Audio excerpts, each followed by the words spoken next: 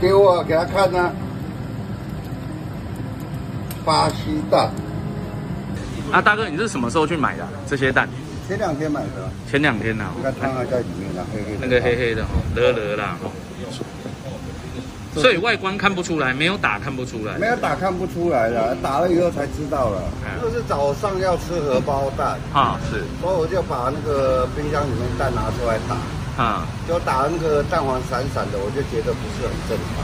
啊是哦，然后第二颗也都是这样子，然后哎说还基本上还可以吃了。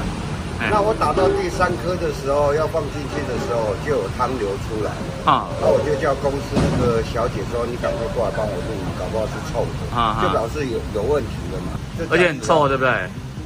恶心死臭是。臭，那个是坏掉了闻到想要吐的味道，那味道很不好闻啊，闻了都想吐。是，不是啊？他讲那个假新闻，我就觉得很不可思议啊。对啊。他自己没有买到，他就说假新闻那个承接人买到这个东西，其实也没有什么不好的感觉，只是觉得这种东西很恶心。你看他买香水了，要去喷里面了。要去喷厨房啊，对啊，要去喷厨房。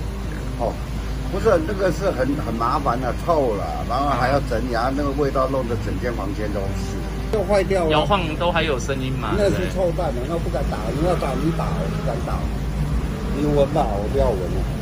闻你你听声音，有没有有扣扣扣？哦，有扣扣扣的声音哦。你要不要现场打一个看看？不要打，很臭了。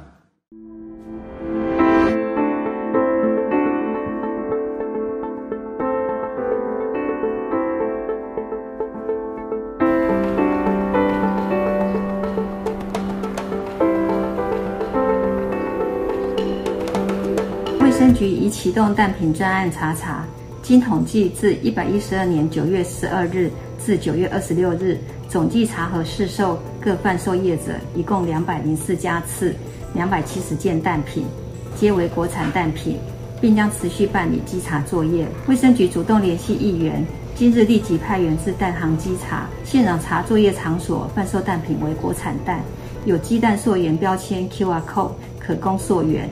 亦可提出进货单据供本局备查。卫生局感谢陈美雅议员关心蛋品安全，因试射民众时的安全，为厘清本陈情案件细节脉络，后续仍需请陈情民众配合提供购买蛋品之时间、地点、蛋品标示及包装形式等讯息，必立卫生局进一步查查。